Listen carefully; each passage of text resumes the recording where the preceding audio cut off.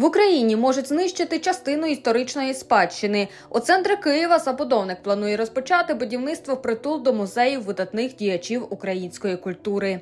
Ділянка площею майже один гектар унікальна. На початку минулого століття тут мешкали родини Миколи Лисенка, Михайла Старицького, Панаса Саксаганського та Лесі Українки. Чим цікава ця квартира? Тут два кабінети, двох письменниць, мами і доньки, відновлені також за спогадами, де можна побачити робоче місце Лесі Українки, її стіл, за описом сестри, що обов'язково знаходилося в неї на столі. Кімната Лесі Українки трохи відрізняється від інших, тому що саме на її прохання не клеїлися паперові шпалери. Вона хотіла, мабуть, створювати свій світ. Ділянку, де планується будівництво товариства науково-виробничого виробниче підприємство Рестін отримало в оренду за рішенням господарського суду. Це сталося ще за часів мера Леоніда Черновецького, якого звинувачують у державній зраді у 2018 році. Біля будинку відомого актора та театрального діяча Панаса Саксаганського почали зводити паркан.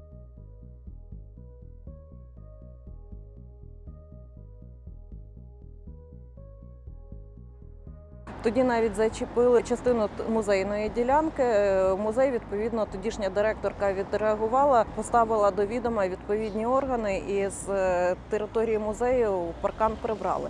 Але е, початок цієї забудови, от навіть він привернув дуже велику увагу громадськості. Тобто тут були громадські акції, і будівництво тоді не почалося. У планах забудовника звести 16-поверховий офісно-житловий та готельний комплекс з паркінгом. Масштабна забудова може зруйнувати історичний будинок Саксаганського, що потребує реставрації.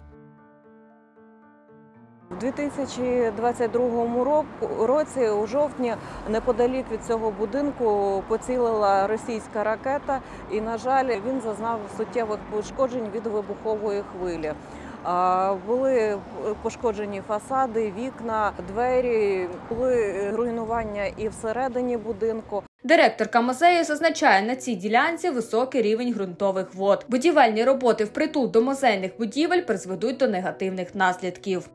Воно е, може суттєво підняти ґрунтові води і призвести до підтоплення і будинків, в якому проживав і Микола Лисенко, і Леся Українка. За часів Черновецького Київрада не голосувала за передачу землі в оренду та не давала дозвіл на виконання будівельних робіт, адже ділянка має статус землі історико-культурного призначення. Наприкінці минулого року три фракції Удар, ЄС та Слуги народу пообіцяли підтримати питання щодо відмови у продовженні договору оренди але голосування так і не відбулося. На сьогодні є чітке розуміння, що ми на 11 квітня цей проект рішення маємо винести і маємо проголосувати. Станом на сьогодні, за моєю інформацією, принаймні три фракції в Київраді готові віддавати максимальні голоси за е, відмову в поновленні договору оренди. Ділянка, на якій планують будівництво, входить до охоронних зон музею. Забудова повністю знищить візуальне та об'ємно-просторове сприйняття пам'яток. Міністерство підтримує повністю позицію офісу генпрокуратури, яка є на стороні захисту об'єктів культурної спадщини цього комплексу виняткового і унікального комплексу пам'яток.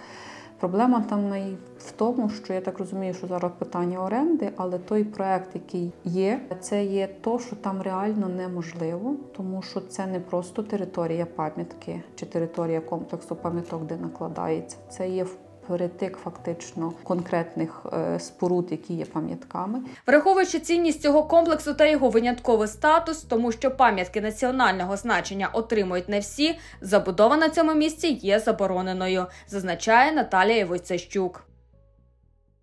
Ця територія пов'язана з абсолютно. Скажімо, історією, яка впливала на формування нашої держави, тому що це люди, які вклалися і дуже багато вклалися в тому, щоб ми жили в цій країні, в якій живемо, яку ми зараз захищаємо. Тому якби так, ця ділянка має бути для обслуговування музею.